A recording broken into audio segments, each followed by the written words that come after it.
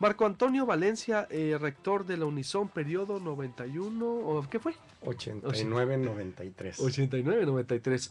Una figura emblemática de lo que fue la ley 4 que le dio vida al sistema financiero y legal actual de la Unison, Marco Antonio. Así es. ¿Cómo ves a 20 años de distancia lo que está sucediendo eh, con el alma mater, con esta huelga de casi un mes a punto de perder el semestre? Dice la autoridad, bueno, en riesgo, la Junta Local pudiera declarar inexistente la huelga.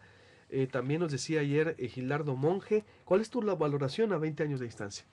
Pues a 20 años de distancia, mi valoración con respecto a la ley orgánica es que no es la ley orgánica como uno de los ah, que te escribió lo decía, no es la causa de las huelgas. Eh, durante mucho tiempo eh, se dejaron de, dar este tipo de eh, enfrentamientos entre los sindicatos y la autoridad universitaria. El derecho de huelga está establecido por nuestras leyes y pues son otras las, las instancias en donde hay que resolverlo y no a través de la ley orgánica de la universidad ni reformas a la ley, por ejemplo, pudiera hacerse para revisar el sistema el manejo financiero de la Unison. Eh, eh, bueno, eh, con, no sé. con respecto al manejo financiero de la, de la universidad, pues hay muchos controles internos y hasta ahorita yo no he sabido de que se, este, pues de que haya algún problema, que se haya denunciado algún mal manejo del dinero de la universidad.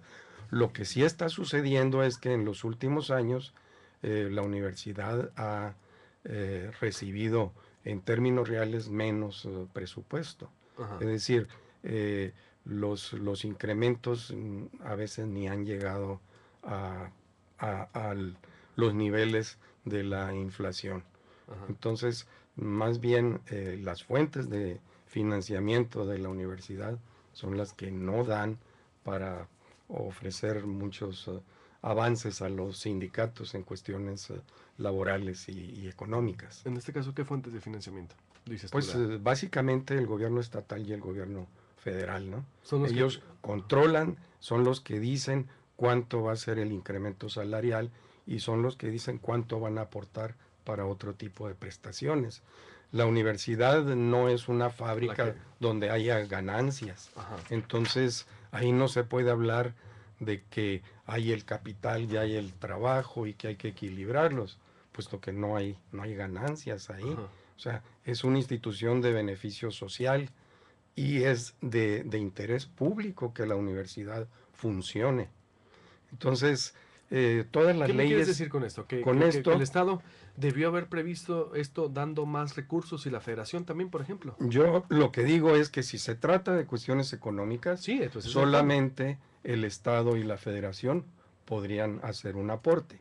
Si extra. se trata extra, exactamente. Si se trata de que se resuelva el, conflicto, pues eh, también la aportación del Estado debería ser mayor en cuanto a que hay una dirección de, o, una junta de conciliación y arbitraje, eh, cuyo papel sería el de eh, ayudar por todos los medios lícitos posibles a que hubiera un arreglo.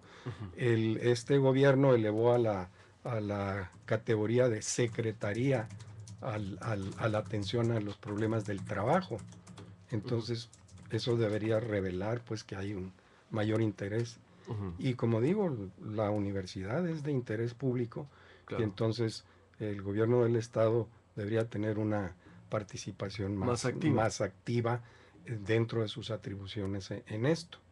Eh, ¿Cómo que, por ejemplo? Porque ayer yo hablé con eh, Gildardo Monge, el secretario de Trabajo, y eso le reclamaba yo también, bueno, porque, ¿por qué han dejado tantos? Porque la Secretaría de Gobierno hizo un intento al inicio de convocar a las partes y, de para evitarlo, pero no, no, no fue, Unison, por ejemplo, no fue. Eh, exactamente. entonces, ¿qué tipo de papel activo? Dice, y me decía eh, Gilardo Monge, es que no podemos, eh, vamos a decirlo, dice, mandar llamar a latigazos.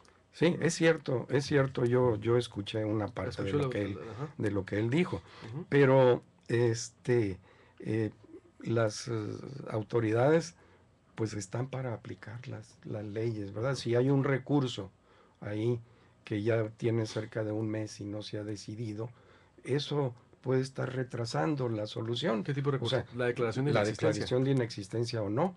Si esa declaración, si esa declaración se hace ya, pues cada quien va a saber lo que le corresponde, ¿verdad? Si es la inexistencia, pues entonces se reanudarían de inmediato los, cursos. Exacto, en, eso, se ha tardado entonces, en declarar exacto, en sí, sí, sí, si se le da validez legal a la huelga, pues ya la autoridad tendrá que ver de otra manera el problema Y, buscarle cómo solucionarlo, ¿verdad? Exacto, porque ya hace un mes y por qué no. Por ejemplo, esto decía ayer el secretario de Trabajo, Gildardo eh, Monge, dando razón a lo que dice. Estoy hablando con Marco Antonio Valencia, ex rector del Unison 88-93, alguien eh, pues emblemático, simbólico para lo que fue la creación del actual marco legal de la Unison que le dio vida, que causó un enfrentamiento entre estudiantes, el, eh, Beltrones, autoridades universitarias, porque fue cuando se empezaron a cobrar eh, se empezó el sistema de cuotas en la Unison, el derecho de admisión, todo lo que conocemos, la creación de la Junta Universitaria, todo lo que conocemos hoy de la Unison le toca a Marco Antonio Valencia. Y resumiendo lo que dice es que el Estado debe tener un mayor, un papel más activo eh, tanto en los se trata de recursos, dar mayores recursos a la Unison, si se trata de mediar, haber mediado con anticipación o resolver la si es existente o no la huelga. Y esto ayer me decía Gildardo Monge. Proyecto Puente. ¿Qué, pudiera, eh, ¿Qué elementos pudiera tener la Junta Local de Conciliación para declarar inexistente la huelga? Eh, yo puedo contestar y quiero contestarte de una manera muy superficial, puesto que no tengo la revisión yo, mi persona, de, ese expediente. Lo que argumentan es falta de documentación presentada en el emplazamiento en base a una jurisprudencia X, que es válida eh, independientemente de lo que diga la Ley Federal del Trabajo, ¿no? Una jurisprudencia es para cumplirse y en base en eso pudiese estar la posibilidad de esto. Proyecto Puente. Pudiese estar la posibilidad de, pues tiene más de un mes exactamente el recurso. ¿Y por qué no ha resuelto? ¿No hay una eh, resolución todavía, por ejemplo? Hay un serio peligro, eh, admitió, de que 30.000 estudiantes pierdan el semestre. Sí. Proyecto Puente. Efectivamente, son algunos días de huelga hay posiciones muy encontradas entre las partes. Eso no quiere decir que nos dejemos en el empeño de buscar al día al día la interlocución con las partes para poder encontrar ese punto. Ahora, hay un serio riesgo de peligro de 30.000 estudiantes de perder el semestre. Claro que es una realidad. Pero afortunadamente nosotros creemos que con el trabajo que hace el gobierno del Estado, la Secretaría de Trabajo y las, y las pláticas y reuniones en la Secretaría de Gobierno, tienen que darnos luz, tienen que haber un fruto para poder encontrar ese equilibrio. Proyecto Puente.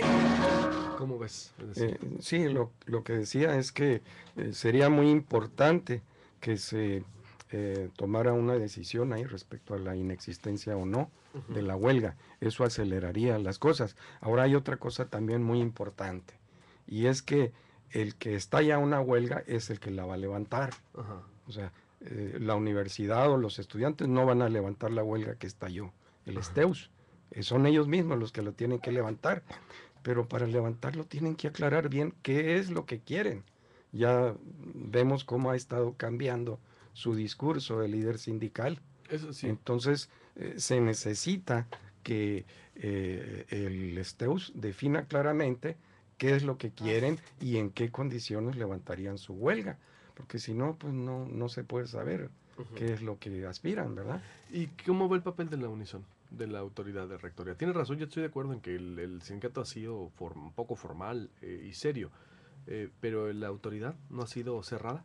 Em, muy cerrada. Bueno, ha, tenido una posición muy firme la, la, autoridad, pero yo creo que a eso ha, eso ha contribuido eh, el que el, sindicato no plantee claramente sus, sus propuestas. Y aquí vale la pena recordar lo que pasó en Cananea. Tú eres de Cananea, yo también lo soy. Y eh, ahí en tres años la dirigencia sindical acabó con el sindicato, acabó con, con la fuente de empleo eh, y eh, todo por qué? Porque se lanzaron bajo un supuesto falta de seguridad en el trabajo, la compañía se allanó, ellos no aceptaron y lo que pasa es que había otros intereses de fondo. Yo espero que aquí no haya otros intereses que los auténticamente del sindicato. Pero lo que viene al caso es que la responsabilidad de lanzarse a una huelga es una responsabilidad muy grande. La universidad es una institución eh, de educación superior en donde debe imperar la razón, la reflexión, y la huelga es una medida de fuerza. Finalmente es una medida de fuerza.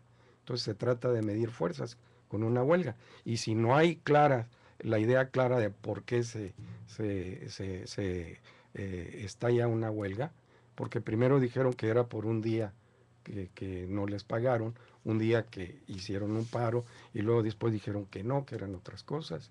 Entonces, eh, es sumamente importante que el sindicato defina qué es lo que quiere. Pues vamos a preguntarle. Te agradezco mucho, Marco Antonio. Estaremos en contacto y dándole seguimiento. Muy bien, con todo gusto. ¿Qué dicen los estudiantes? Están aquí tres estudiantes que entrarán a cabina para dar su opinión. Volvemos.